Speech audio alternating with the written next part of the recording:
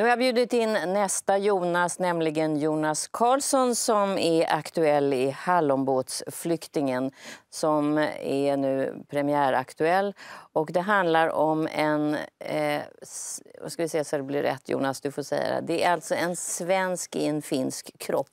Precis, en, en, svensk man i en finsk mans kropp. Ja, en finsk mans kropp en otrolig motsats till allt det här som Jonas Gardell satt och pratade om så är det här en person som bara älskar allt i Sverige och älskar Albin Hanssons bild av folkhemmet. Och, Jajamän. Ja. Och det är du. Ja. Fast du är ju finne från början. Ja. Han är, så, han, han är som besatt av Sverige, eh, mm. kan man säga. Eh, eh, det, det, är ju, om man ska psykologisera det där lite grann så har det att göra med ett, gammalt, ett barndomstrauma så där, när hans, eh, hans mamma dog tidigt och hon mm. var som lyckligast i Sverige. Och sen så har det blivit som en fix idé. Och där satt de åt hallonbåtar? Ja, precis. Alltså det, titeln kom ju av det. Eh, det är liksom ett gammalt begrepp att när man åkte på Finlandsfärjan till Sverige så fanns det hallonbåtar där. Så att det blev liksom som en bild av Sverige. Du hade sött man och så var man på väg dit och så vidare. Exakt. Ja. Men du, sen är det ju då en väldigt skruvad historia. Den är ännu mer skruvad i boken, romanen. Ja. Som är en riktigt eh, svart historia. Den är något ljusare och mer komedi kanske på, på svenska filmduken. Vi ska säga nu om jag säger rätt. Eh, Mika Nousiainen. Nousiainen, för du pratar nämligen numera finska också. Du ska få visa prov på det. Ja. Men, men, det, är, det är en uh, lite ljusare historia. För här är, i boken är det så att han är psykopat. Din, det lite grann, va? Måste man alltså, han, är han dödar människor i alla fall. Han, han, är inte helt frisk i filmen heller, säga. Nej, men, man verkar snällare i filmen. Ja, är, alltså, boken är ju en, en, en riktig skröna. Sådär. Mm. Men i, i, boken så är det ju så att han har ihjäl en massa människor. Mm. Och så, och det, är ju, det är ju ändrat i filmen. För det är ju, eh, Daniel Karlsson och Erik Arnbom har skrivit ett helt nytt mm. filmmanus som är... Ja, det, är, det är väl svårt det där eh, förmodligen att, att ha ihjäl en massa människor på film. Mm. Kanske. Men du ska, vi ska visa ett, ett klipp ur filmen för, för att se vad, hur din karaktär är. Mm. Om man säger någonting om det så är det så att han, man måste ändå berätta hur det kommer sig att han får en ny identitet. Mm. Han träffar en man på båten över, på Finlandsbåten över. Ja, precis. Och eh, han är djupt... Eh, han tänker ta sitt liv egentligen. Eller du tänker göra det i den här ja, karaktären. Mikko tänker göra det. Mikko tänker göra det. Och då kommer en annan kille, en svensk kille, och är på väg att göra samma sak. Precis, och så upptäcker de då att eh, ja, men vi, kan, eh, vi, vi byter identitet. Då, för han vill ju bara, han vill inte vara svensk längre. Mm. Och Mikko vill ju liksom... Eh, han, han, har ju tänkt, det är också så, han har ju tänkt att han åtminstone ska få dö som en svensk mm. med svensk tröja. På sig en sån här det, här, det här säger ju lite grann om vad det är för slags film. Att mm. det är mm. ganska så, toppat. Ja. Jag tror vi har precis den här dramatiska scenen som måste ha varit eh, spela. Här hade vi inte det klippet, men den, det, du hänger utanpå en fin, finlandsbåt. Mm. Och det ser så läskigt ut så man undrar, eh, var det så där? Jo, men det var ganska läskigt. Alltså, det, eh, det är ju såklart så att man är ju fastspänd i linor och allting mm. och det är stuntmän överallt och så, så att allting är ju helt säkert mm. och så. Men just när vi var ute där på havet och det blåste mm. så 40 sekundmeter. Och så har precis Estonia-katastrofen hade man ja, i men bakhuvudet. Det var så frukt och vi skulle ju hänga där ute på scenen. Då är man inte så kaxig kan jag mm. säga.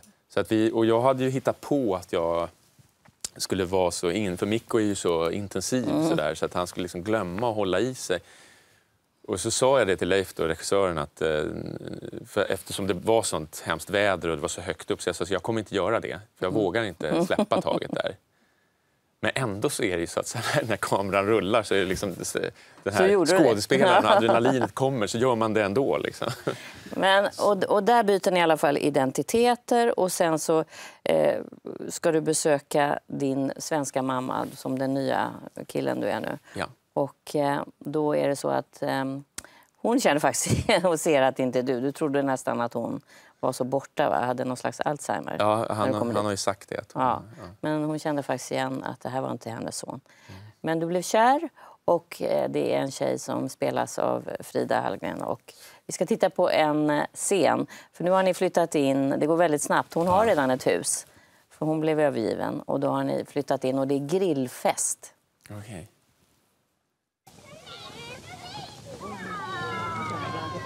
Känns ju bra att ha poliser som grannar. Ja, det känns tryggt. Ja.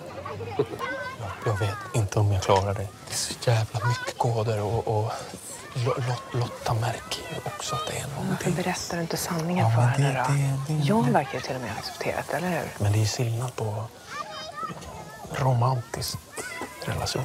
Eller?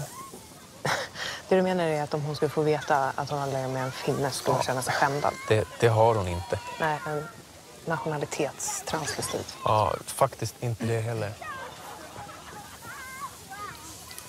Lägg av. Lägg av, lägg av. Du har inte tagit Lägg. ett tre miljoners lån och köpt dig ett hus. Hon köpte huset, Jo, fast ni ska flytta ihop. Ja. Och ni ska gifta er. Ja. Och du har aldrig legat med henne. Det är så jävla konstigt. I de flesta länder tror jag att det är det, ja. Hur, hur, hur gjorde du och, och Rille då? Nej. Ja, alltså, Första kvällen så berättade han att han inte hade fått ligga på ett halvår. Lite vädjande sådär. Oj. Så då fick han det. Det, det fick han. Ja. Kan man, kan man få en till eller? Ja, såklart. Jättegott. Ja, ja trevligt. Du skrattar ju inte. Nej, Det är men du vet, man jättekul. bara sitter och tittar på allting. Som, det går inte att... Det är Se Jättekul. Och den du står och pratar med som spelas av Josefin Bornebusch, hon- det är din svenska syster. Ja, hon blir ju det. Det är rätt komplicerat där. Mm. Ja, det är verkligen Ja, komplicerat. I din nya identitet så, är, så får du en syster på köpet Just det. som blir en vän och så händer det något mer sen. Det får vi inte berätta så mycket om. Nej. Men eh, det som är intressant är att du var tvungen också att lära dig finska förstås. Ett av de svårare språken skulle jag säga. Ja, men det kan man säga. Alltså, jag, jag var ju, när jag fick det här, eh, när de kom med det här manuset så, så kände jag bara så här, nej, men ni måste ju ha tagit fel. Det här är ju det här, det här är en finsk skådespelare. Sa du nu, sände jag också så här? Sa du det? Vad sa du? Sände jag också så här? så är det nu? Ja. Det är roligt. Ja. Men, eh, men sen så sa de, nej, men hela idén är att det- ska ju vara en svensk man i en finsk mans Mm. Där, så man, man måste liksom känna att han är svensk hela tiden. Så att man, och då så när jag hade liksom vant mig vid den tanken så, så tänkte jag säga, ja, men det, här, det, är ju, det är ju en alldeles för knäpp idé för att tacka nej till. Eh, jag vet inte jag vet inte nästa gång jag, får, skulle få chansen att spela finländare. Det, det, det är väl liksom once in a lifetime. Så ja, men, när jag hade bestämt mig för att jag skulle göra det, då, då började jag plugga finska. Ganska tid. Det var ju nästan ett Du, år Mm. måste, du innan. måste ha gjort det intensivt då. Ja, är det ett år innan ungefär? Jag hade jättebra finska lärare Mm. då, en gång i veckan. Parallellt med det som jag höll på med. Då satt jag liksom tragglade med. Det är inte så att jag kan prata finska, men man måste Men väldigt bra säger de som pratar finska. Jo, men de, de här sakerna var jag tvungen att lära mig. Mm. Men det är ju inte bara så också att man kan inte bara lära sig härma utan man, jag måste ju veta vad jag pratar om. Så jag måste ju liksom kunna Mm. Spela i... Och, ja, och veta hur, hur det här fungerar och vad det är för sammanhang. Så lite, liksom, det är ju rätt mycket mer man måste lära sig för att man ska känna att... Mm. Men din lärare var väldigt nöjd Ja, men det var hon. och ville att du skulle fortsätta. Ja.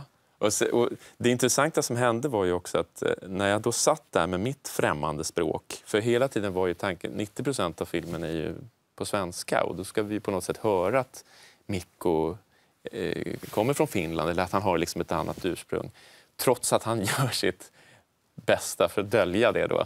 Men när jag satt där med finskan och, med, eh, och, och höll på med den så, så kom jag också på så att jag, jag ska pröva ha samma förhållningssätt till de svenska replikerna och se för att det blir ju så att när, när man har ett språk som man inte alls behärskar här, så eh, liksom, eh, man tar sig ju an det på ett speciellt sätt. Och, och, och det var väldigt roligt tycker jag sen när jag började titta på svenskan på samma sätt. För Mikko är ju en sån pratmakare, han, han snackar ju liksom hela tiden. Och, och som till exempel en sån sak som att eh, finskan är ju väldigt rakt språk. Så det, det de håller ju inte på och sjunger så här som vi gör. Utan det, det fick ju jag jobba väldigt mycket med att liksom inte ha någon melodi så där, utan det ska ju gå rakt. Eh, men Mikko, eh, när han talar svenska, han vet ju att i Sverige så sjunger man Mm, mycket. han så- Ja, han sjunger 180 Ja, så här. precis. För det som är bra, som jag hörde någon som tror jag inte hade förstått riktigt, du pratar ju inte finlandssvenska. Nej, absolut inte. Nej, och de sa, och tyckte att du pratade konstigt, men det är ju en finländare som lär sig svenska. Finlandssvenskan är ju ett, ett eget språk. Ja, precis. Och, och, och, nej, det här är ju en, en finländare Mm. som, precis, och, s- som, som ibland... Det är det som är roligt med Mikko, att han, han, han går ju liksom... Eh, alltså, ib- ibland, han är ju ganska duktig och blir ju bättre och bättre längs, liksom, ju längre tiden går. Mm. Ja, och ju längre filmen går, det känner man. Ibland så liksom låter det ganska bra. Mm. Eh, ibland hör man inte alls någonting speciellt. Men, Nej, men det är väldigt skickligt. Jag, jag stoppar det lite för vi har ett klipp där man kan få lyssna då. Men det är ju i början, för här ska du få vet, vet du ju att din nya svenska identitet är psykolog och då får du lite tips om hur en psykolog beter sig. ja, just det. Sverige! sen, sen måste jag bli trygg i min yrkesroll. Du bara gnuggar i hakan och frågar hur det känns. Hur känns det? Bra. Kan du göra en diagnos också? Folk i det här landet älskar att få en diagnos. Okej, okej. ehm, Förlåt, förlåt, förlåt. Jag- jag såg det inte. nej, för, förlåt, jag, jag såg dig inte. Gick det bra? Ja, det gick bra. Och, eh, gick det bra med dig? Hur, hur känns det? Jag klarar mig. Du, du behöver inte krisgrupp eller, eller, eller diagnos eller något. Vi, vi är faktiskt eh, två psykologer här. Kom nu. Ja. Kram. Ja. Men, men, men det är också intressant tycker jag, för det blir för svenskar en bild av Sverige. Här kommer någon som bara älskar allt. Och vi är ganska bra, tycker jag, i Sverige på att inte tycka om saker och tala om att det är inte bra, och det är inte bra, det är inte bra. Och här är någon som verkligen uppskattar allt det där som svenskar själva fnyser åt lite grann. Ja, sen är ju, sen är ju Mikko... Eh, han, han är ju, det brukar jag också säga, han, han, är ju, han är som en sån person som försöker få ner en, en fyrkantig kub i ett runt hål. För han vill Det ska så, gå. Ja, han vill att det här Sverige som, han, som finns inne i hans huvud, det ska ju, han vill så gärna att det ska vara Mm. så som han har liksom tänkt.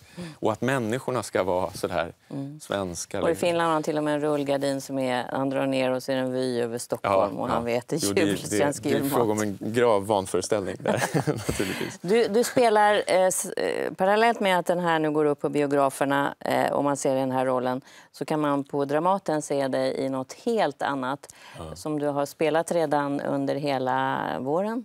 Ja, Ja, och det handlar om ondska verkligen. Ja, det Rikard den tredje. Mm. Jo, det, det är ju verkligen... Eh, det, det är så ro, jag är så glad att jag får eh, hålla på med både och. göra, både göra en sån här film och sen så gå till Dramaten. Mm. Men, men det här klart, det man inte vet kanske när man går på bio det är att det är en ganska lång tid sen filminspelningen slut, ja, ja, men det är ju. Precis. Det är, det är, ett, det är ett år sedan vi Mm. gjorde det här. Så att, eh, Men hur går man in och förbereder sig för, att, för ondska? Det är ju, och då måste man hämta det inuti sig själv. Eh, ja, det får man göra. Det, det, det fantastiska med eh, den här texten är ju att, eh, att det ändå är så att jag menar, det är 500 år sedan den skrevs. Och ändå varje kväll så kan man känna att det här är, det handlar om oss.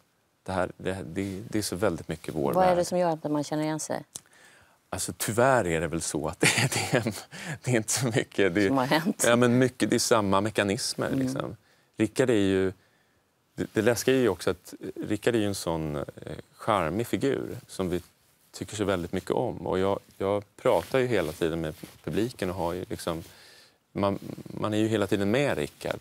Och sen så sen börjar han döda och dödar och dödar. och dödar liksom. Och det är sånt där som spelas upp nu hela tiden, en sån här obegriplig ondska. Mm. Men vi hade ju min filosofiska salong som jag har bjudit in dig till här, Ja, eh, som jag hoppas du kan vara med i, så pratade vi det om det förra veckan, att det beror på vad man ställer sig också. Eh, det är inte säkert att de som halshugger folk nu i terrorgrupper framför kameran tycker att de tycker att de halshugger ondskan. Nej, Sen nej, är det en oerhört ondskefull handling, men det är Ja. lite grann som i den här pjäsen också. Var man befinner sig.